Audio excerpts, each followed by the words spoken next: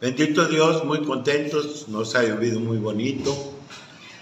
Nosotros construimos en total en puro San Francisco, Guayalá, eh, tres presas muy grandes, este, que hoy están llenas. Las tres presas, eh, la presa de las Aztecas, la presa de Cuaya y la presa de la de Berna, ¿verdad? De Bernardo. Y una presa que se le llama presa Reina, que tiene también en la otra administración de nosotros logramos hacerla. Es una de las más grandes.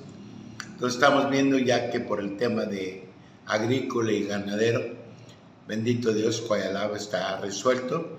Y en el tema de agua, pues del consumo humano, ya está llegando a la mayoría de las casas.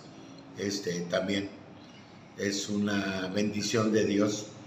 Se llenó también casi prácticamente la presa de Tasajeras, una presa muy grande.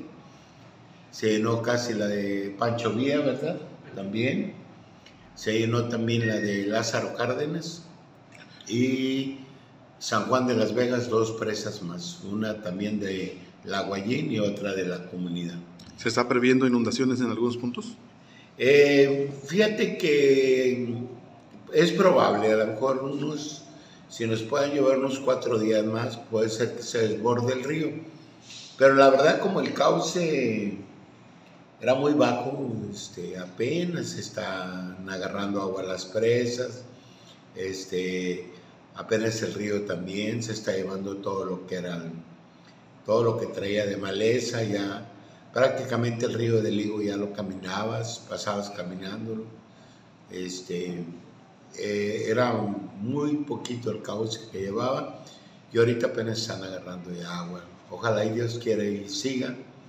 Esto es más benéfico, Sabemos que muchas familias se inundan y mucha gente que vive a la ribera del río pues, se expone, porque como tenemos 10 años prácticamente secos, entonces mucha gente se confió y se fue a vivir al pie del río o al pie de los arroyos y y ahora son los problemas que hay de inundaciones.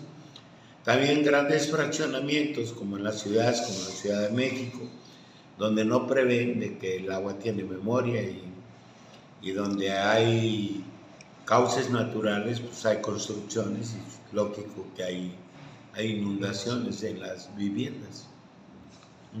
Okay.